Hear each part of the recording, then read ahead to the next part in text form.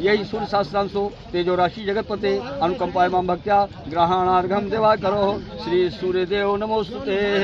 प्रणाम कर ले में हाथ जोड़ करके सूर्य सूर्य भगवान को। और वहीं परिक्रमा कर लिए में चक्कर लगा ओम यानी कांजे पापा ने जन्मांतर के दानी जो तानी तानी बनिष्ठन्ति प्रदक्षिणा पदे पदे। बस। श्राद्ध शुरू हो गए हैं। नदी तालाबों के किनारे हज़ारों लोग अपने पितरों के तर्पण के लिए पहुँचते हैं। वहाँ पूजा अर्चना करते हैं और अपने पूर्वजों को याद करते हुए उन्हें श्रद्धांजलि देते हैं। इन दिनों महोबा के ऐतिहासिक कीरत सागर तालाब के किनारे भी सैकड़ों लोग पहुंचकर तर्पण कर अपने पूर्वजों को याद करते हैं। सनातन धर्म के अनुसार आश्विन माह के कृष्ण पक्ष को श्राद्ध पक्ष के रूप में मनाया जाता है और शुक्ल पक्ष को मातृ पक्ष अथवा शक्ति पक्ष के रूप में मनाया जाता है। अर्थात अपने पितरों को तृप्त कर ही देवी देवताओं की भी कृपा सुलभ हो पाती है। जो पितरों की उपेक्षा कर देवी देवताओं की पूजा करते हैं, उन्हें उस पूजा से कोई लाभ नहीं मिल पाता। क्योंकि पूर्व ऋण जब तक विद्यमान है, तब तक और कृपा कैसे मिल सकती है?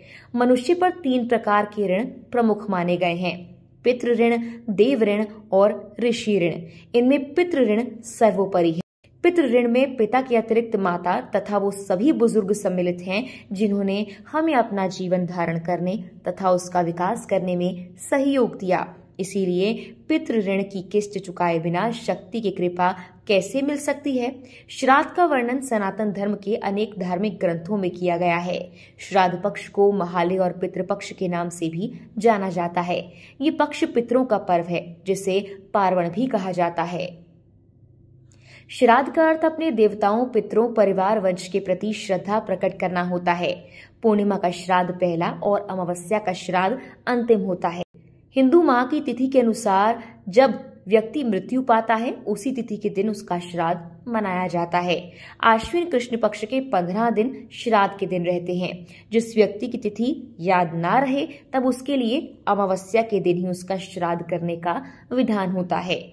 हिंदू धर्म में स्पष्ट रूप से कहा गया है, जो स्वजन अपने शरीर को छोड़कर चले जाते हैं, वो चाहे किसी भी रूप में अथवा किसी भी लोक में हों, श्राद्ध पक्ष के वक्त अपनी दिवंगत तिथि में पृथ्वी पर आते हैं। मान्यता की पितृपक्ष में हम जो भी पितरों के नाम से तर्पण करते हैं, उसे हमारे पितृ सूक्ष्म रूप में आकर अवश्य ग्रहण करते हैं। अब सवाल ये उठता है कि श्राद्ध की वस्तुएँ पितरों को कैसे मिलती हैं तो पहले ये समझें कि श्राद्ध का अर्थ क्या है।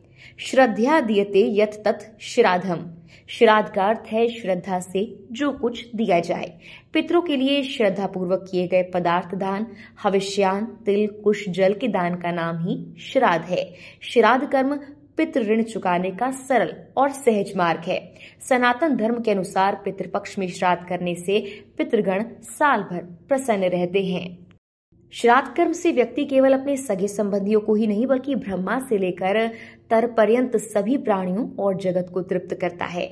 पितरों की तृप्ति को साक्षात विष्णु पूजा ही माना गया है।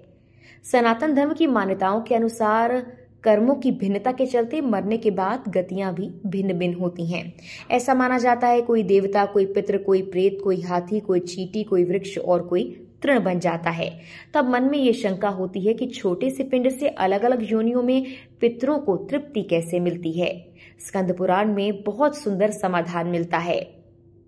और यम स्मृति के अनुसार यमराज जी का कहना है कि श्राद्ध कर्म से मनुष्य की आयु बढ़ती है। पितृगण मनुष्य को पुत्र प्रदान कर वंश का विस्तार करते हैं। परिवार में धन धान्य का अंबार लगा देते हैं। श्राद्ध कर्म मनुष्य के शरीर में बल पौरुष की वृद्धि करता है और यश और पुष्टि प्रदान करता है।